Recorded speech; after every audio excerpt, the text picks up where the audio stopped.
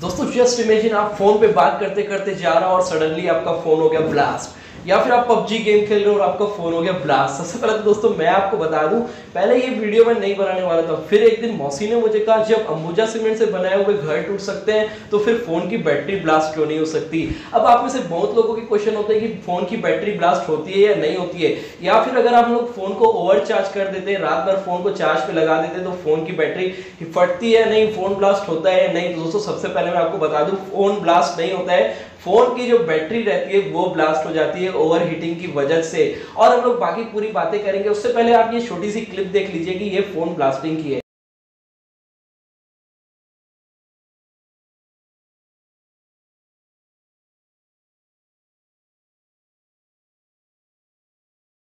दोस्तों, जो जो अभी आपने क्लिप देखी, उसमें आपने देखा कि किस तरीके से फ़ोन ब्लास्ट हुआ।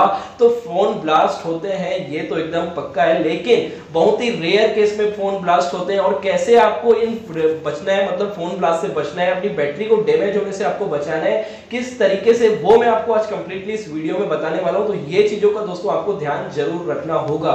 सबसे पहले दोस्तों, मैं बता दूँ कि हमारी जो अभी स्मार्टफोन्स रहती है, लगभग जो तीन चार साल से आ रही है, जो अभी भी फोन्स है, दोस्तों, उसमें बैटरी जो यूज़ की जाती है वो होती है लिथियम आयोन बैटरी यूज़ की जाती है, जो कि काफ़ी स्मार्ट बैटरी है। है ना दोस्तों? और उसके साथ साथ हमारे जो स्मार्टफ़ोन है, वो भी एआई टेक्नोलॉजी पर अभी जो आ रहे हैं साथ सब में लगभग हम लोग को एआई मिलती है मतलब आर्टिफिशियल इंटेलिजेंस इससे कहने का मेरा मतलब ये है कि जब हमारा फ़ोन इतना इंटेलिजेंट हो चुका है तो क्या फ़ोन ब्लास्ट होता है या नहीं होता है? अब आपने बहुत सारे केसेस सुने होंगे कि एम के फ़ोन ब्लास्ट हो रहे हैं। अब वो जो फ़ोन ब्लास्ट होते हैं एमआई के ज़्यादातर फ़ोन ब्लास्ट हुए हैं। सैमसंग का नोट सेवन की ब्लास्ट की खबरें आपने सुनी होंगी। तो ये मैन्युफैक्चरिंग डिफेक्ट हो सकता है इन फोन्स में, है ना? तो जो नॉर्मल फ़ोन सब अगर ब्लास्ट होते हैं तो कोई भी हो सकता है, लेकिन बहुत रेयर केस मतलब लाख में से किसी एक जन का ब्लास्ट हो गया तो बैटरी ब्लास्ट हो गई, वरना नहीं होता। क्यों हो जाती है वो भी मैं आपको बता दे रहा हूँ। वैसे तो डरने की बिल्कुल ज़रूरत नहीं है। मैंने बता दिया कि काफ़ी अच्छी smart batteries smart AI based हमारे फोन्स रहते हैं, जो कि हमारे फेस वगैरह को डिटेक्ट कर पाते हैं। कैमरे इतने अच्छे हैं, हमारी परफॉर्मेंस को पूरा मैनेज करके रखते हैं फ़ोन की तो फिर ब्लास्ट बैटरी को कैसे होने देंगे?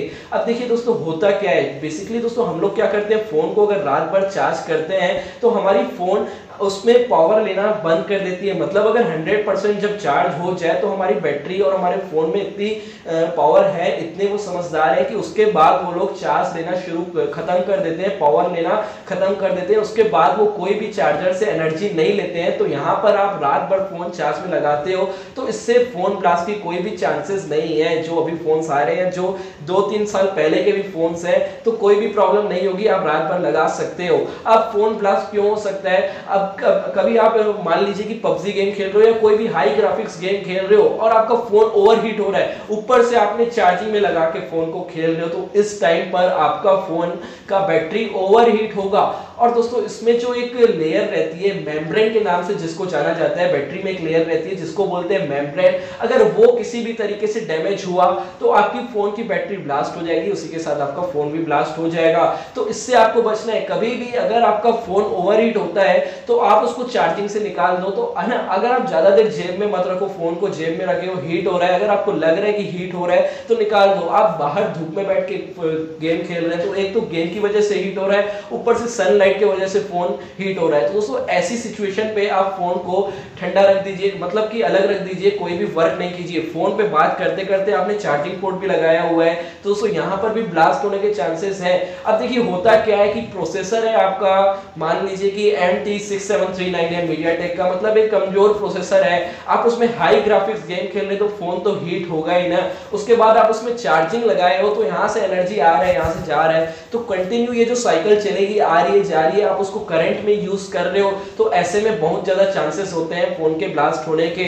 और दूसरी बात, अगर आप अपने फ़ोन के डुप्लीकेट चार्जर यूज़ करते हो, आपके फ़ोन का चार्जर गुम गया ये सब काम आप करते हो डुप्लीकेट चार्जर और डुप्लीकेट केबल तो सबके जो वॉल्ट रहते हैं वो अलग रहते हैं चार्जर के। तो दोस्तों, यहाँ पर भी आपको दिक्कत आ सकती है। आप कभी भी डुप्लीकेट चार्जर यूज़ मत कीजिए डुप्लीकेट केबल यूज़ मत कीजिए। अब आप अगर कर भी रहे हैं तो वैसे इशू नहीं है, लेकिन जब आपका फ़ोन हीट होना स्टार्ट हो, अगर आपको कभी भी लगता है कि फ़ोन ओवर हीट हो रहा है तो आप तुरंत उससे दूर हो जाइए, वरना दोस्तों वो ब्लास्ट वगैरह हो सकता है। रेयर केस में होता है, लेकिन होता है। आपने ये भी देखा होगा, अभी जो हमारे स्मार्टफोन्स आते हैं, उसमें हम लोग को नॉन नॉन रिमूवेबल बैटरी मिलती है कि हम लोग बैटरी को निकाल नहीं पाए। ये भी सिर्फ़ इसीलिए किया गया है। पहले क्या होता था कि हमने कोई भी बैटरी अगर हमारे मोबाइल की बैटरी खराब हुई तो फिर कोई भी हम लोग दुकान पे जाएँगे, सस्ते वाली बैटरी उठा के उसमें लगवा देंगे कम पैसे वाली। तो यहाँ पर भी फ़ोन वो जो बैटरी होती थी, वो जल्दी फूल जाती थी और वहाँ पर फ़ोन ब्लास्ट होने के चांसेस ज़्यादा रहते थे। लेकिन अभी नॉन रिमूवेबल बैटरी के साथ ये चांसेस और कम हो चुके हैं तो डरने वाली बिल्कुल बात नहीं है। सिर्फ़ आपको ध्यान में रख के चलना है कि आपको चार्जिंग करते वक्त अपने फ़ोन को यूज़ नहीं करना है डुप्लीकेट चार्जर से फ़ोन को चार्ज मत करो। कभी भी आपको ऐसा एज्यूम हो कि मेरा फ़ोन ओवर हो रहा है तो आप अपने फ़ोन को रख दो, कोई भी वर्क मत करो स्विच ऑफ़ कर दो या फिर लॉक करके भी छोड़ दो तो आपका फ़ोन धीरे धीरे ठंडा हो जाएगा और ब्लास्ट होने के कोई भी चांसेस नहीं रहेंगे। बस दोस्तों, इस वीडियो में इतने। अगर वीडियो अच्छा लगा हो तो प्लीज़ लाइक करना शेयर करना। चैनल पर पहली बार है तो चैनल को सब्सक्राइब कर देना। इसी तरह की टेक्नोलॉजी से भरी न्यूज़ आपको इस चैनल पर मिलती रहेगी